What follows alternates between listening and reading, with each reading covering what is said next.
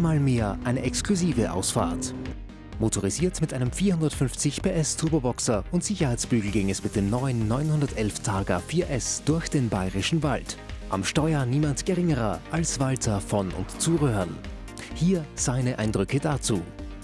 Ja, für mich ist ein Targa natürlich ein perfekter Kompromiss. Es gibt Leute, die wollen ein Cabriolet haben, weil sie sagen, sie haben Frischluft.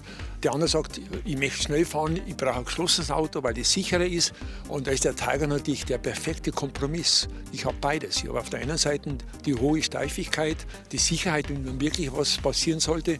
Und auf der anderen Seite bin ich äh, Freischluftfanatiker und es geht wunderbar. Also für mich ist der Tiger auch die Tatsache, dass er als Vierrad geliefert wird, finde ich passt genau zu diesem Auto dazu. Das ist, äh, deckt für beide Bedürfnisse alles perfekt ab. Interessant auch der Vergleich mit den ersten Targa-Modellen aus den 60ern. Wenn ich mir an den ersten Targa, da, da waren wir damals, war, war das was vollkommen Neues. Da gesagt, so, hm, hm, die schaut ein bisschen aus wie so ein Hängel zum Wegwerfen, der, der Bügel da hinten drauf.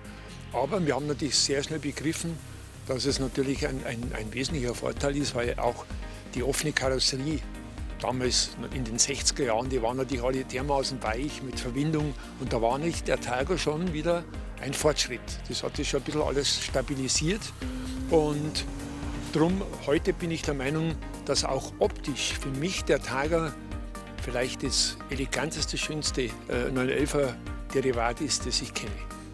Der große Unterschied ist für mich einfach für Leute, die sagen, okay, äh, ich bin ein Fanatiker, vielleicht passiert doch mal was, dass ich mich mal irgendwo überschlage und, und diesen Bügel, der da beim Cabriolet ausfährt, das, das, dem traue ich nicht so sehr, das schaut mir schon wesentlich stabiler aus. Also für die Leute ist es sicherlich äh, ein Argument, dass sie sagen, okay, ich habe auf der einen Seite ein offenes Auto, aber habe doch das Gefühl der Sicherheit, dass ich irgendwie äh, etwas über, über dem Kopf habe.